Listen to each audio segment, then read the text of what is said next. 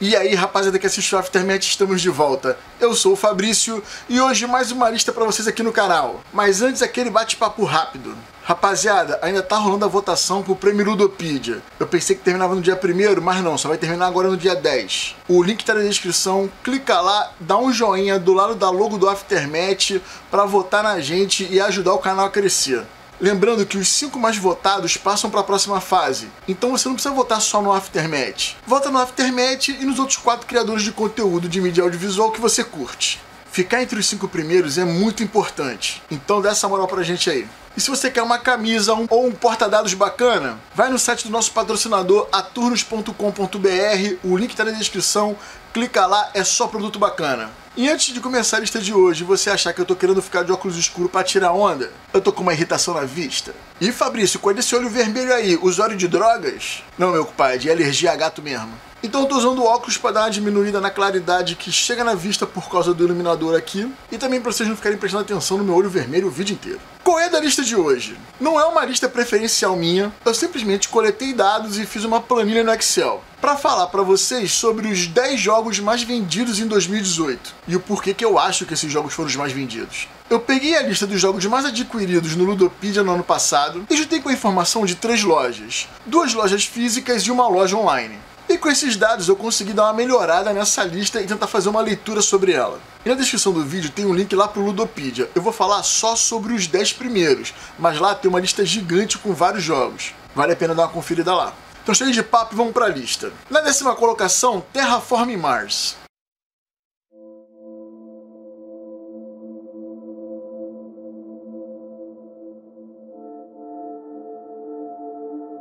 O Terraform Mars é o único jogo dessa lista que passa de 300 reais. E o que me parece é que ele não vendeu mais porque não tinha cópia disponível para compra. Várias lojas físicas ficavam com eles esgotados no mesmo dia. Ele chegava de manhã, a loja anunciava na internet e no final do dia não tinha mais Terraform Mars na prateleira. E isso comprova que além de ser um jogo super hypado, é um jogo muito bom. Porque um hype, se não for bom, não se mantém por muito tempo. E o Terraform Mars conseguiu durante o ano de 2018 inteiro ficar ali entre os 10 mais vendidos do ano levando-se em consideração que foi um jogo lançado em 2017. Então se você vê um Terraform Mars por aí, meu amigo, compra porque depois vai ficar difícil de achar. Na nona colocação, Puerto Rico.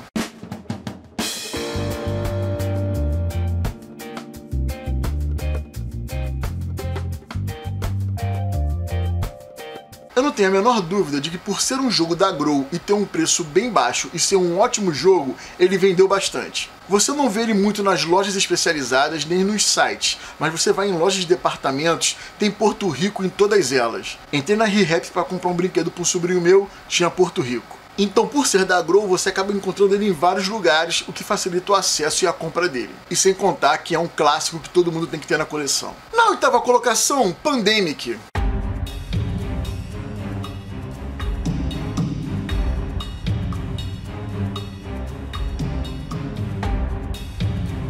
Já adianto que é o único cooperativo dessa lista. O que eu acho um pouco estranho, porque jogos cooperativos são mais tranquilos para quem está começando e tendem a vender mais. Mas eu acredito que muitos desses números que vieram do Ludopedia, que colocaram o Pandemic entre os 10, seja da venda entre pessoas que já possuem o jogo, porque ele ficou um tempinho aí subindo das prateleiras. Na sétima colocação, Catan.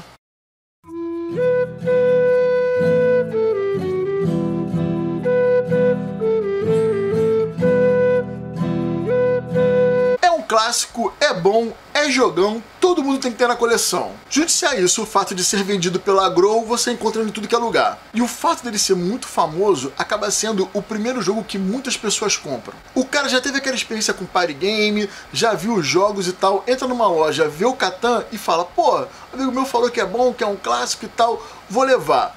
Pega, o preço não é caro, tá na coleção, conta mais venda para ele. Na sexta colocação, Carcassonne.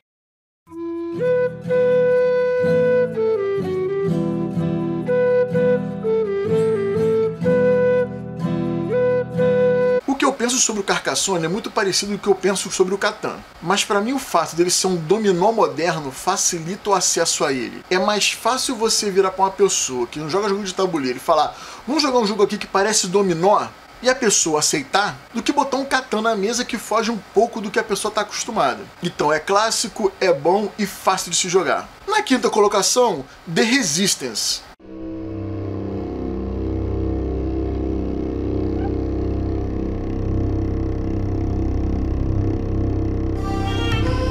Além de ser um jogo muito comentado nas mídias de audiovisual, o The Resistance chama atenção por causa desse lance de ter um traidor entre a galera, né? De você montar o um grupo, de ter traidores, descobrir quem é, votar, isso chama muita atenção da galera novata. E o fato de ser um jogo que caiba 10 pessoas e custar menos de 100 reais facilita absurdamente a aquisição dele. Então você vai entrar numa loja, vai ter sempre um The Resistance disponível para você comprar. Na quarta colocação, o Coop.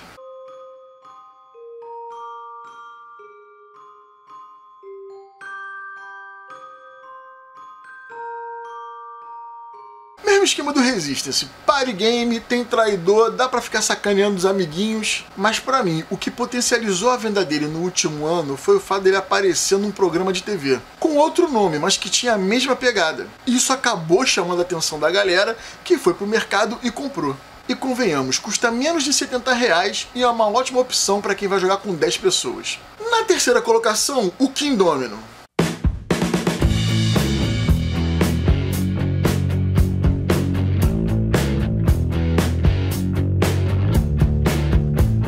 Acessível, jogo bom, bela produção, é bonito, tem sempre nas lojas tudo isso colabora para o Kingdom estar nessa posição. Porque não adianta você ter um jogo bacana e o cara chegar numa loja e não ter para comprar. E o Kingdom tá sempre tendo reposição, tem sempre uma lojinha, tu entra, tem uma caixinha ali e todo mundo pega. E entra naquele mesmo esquema do Carcassonne. Por ser muito parecido com o Dominó, fica fácil de você pegar novos jogadores, né? De chegar numa festa de família, onde ninguém sabe sobre jogos de tabuleiro, aí você vira e fala, pô, isso aqui é tipo Dominó, vou ensinar aqui para vocês. Ensina, todo mundo pega a regra rapidinho e, meu amigo, só sucesso.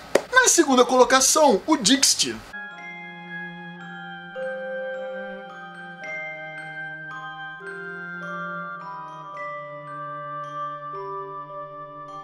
Dixit é a maior reviravolta entre a tabela do Ludopedia e os dados que eu apurei com as lojas. No Ludopedia ele está em sétimo mais adquirido. E quando chegaram os dados das lojas, cara, ele subiu absurdamente para o segundo lugar. Em todas elas, Dixit é o mais vendido. E todos os donos sempre falaram, Fabrício, o jogo chega, não dura uma semana. E o que eu entendo pelo Dixit estar nessa posição é o fato dele ser um jogo muito casual, muito party game.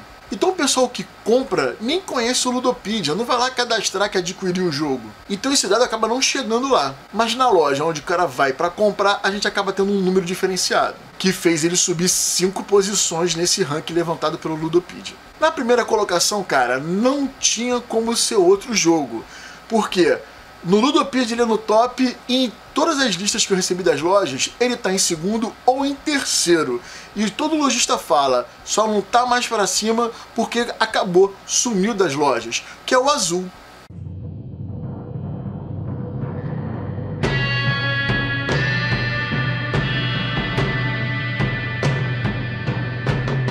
Azul ele mantém a característica das maiorias dos jogos dessa lista. É bonito, é fácil de jogar, o preço é um pouco salgado, mas não tem como negar que o visual dele chama a atenção de todo mundo. Ele é o único jogo dessa lista que eu já vi pessoas que eu nunca imaginaria estar jogando jogo de tabuleiro, sentar numa mesa, jogar e pedir para jogar de novo. Então o azul acaba levando esse prêmio do jogo mais vendido em 2018.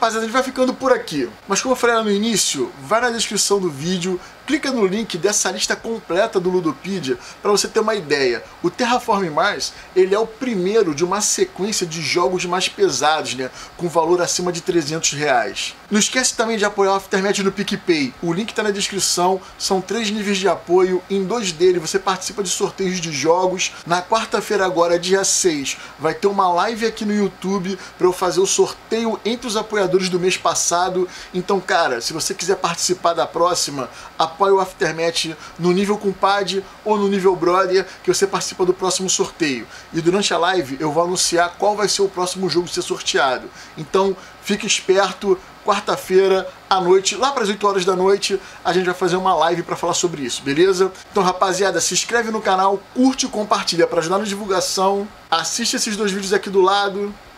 Beijo, forte abraço e até mais!